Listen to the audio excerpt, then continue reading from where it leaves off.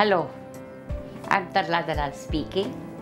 I'm going to make today methi ki launji. Well, I love to eat it. It is some sort of a pickle which you would like to eat with the uh, masala rotis or parathas or with kachoris or samosas. Anything, it can go very well with it. It tastes really yummy. You feel like eating it more and more.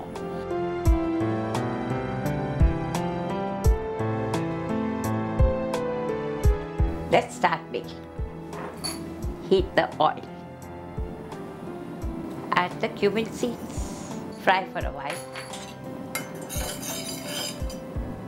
So the cumin seeds are almost ready. Add asafoetida, a few Kashmiri red chilies, cloves, cinnamon, and fry for a while. This gives a flavor. Now add soaked methi seeds. A cup of water. Add the jaggery, sugar, little chili powder, dhania powder. Wow, so many things. Salt, raisin. This is dry mango powder. I'm adding little bit. We'll taste and add according to our taste.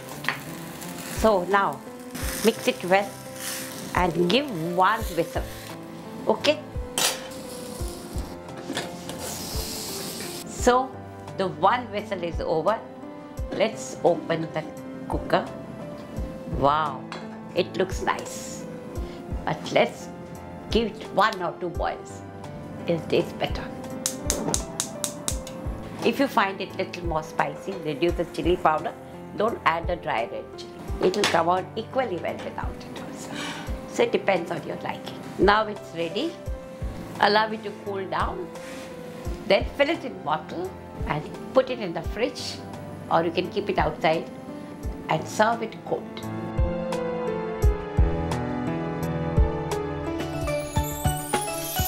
If you enjoy our recipes, click like. To see more of my recipes, click here. Please share your comments. I would love to hear them. I'm waiting for them.